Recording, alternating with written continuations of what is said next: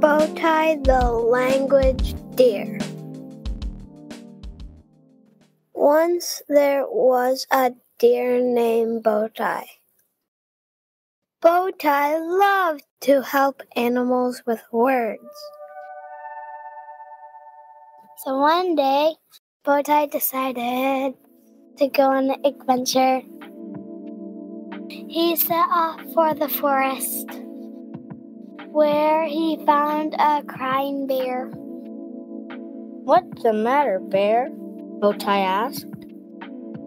I do not know what a P and H sound like together, Bear cried. Bowtie drew a P and an H on the ground. Can you say this with me?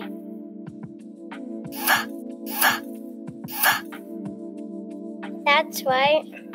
P and H together make an F sound. Bear was happy. Bowtie tried to find the next person he could help.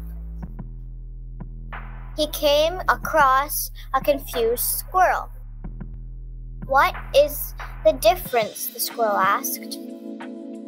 The squirrel held a sheet of paper that said dull and dull. Dull has an uh sound in it, Bowtie said. Dull has an ah sound in it, the squirrel replied. Very good. You're learning.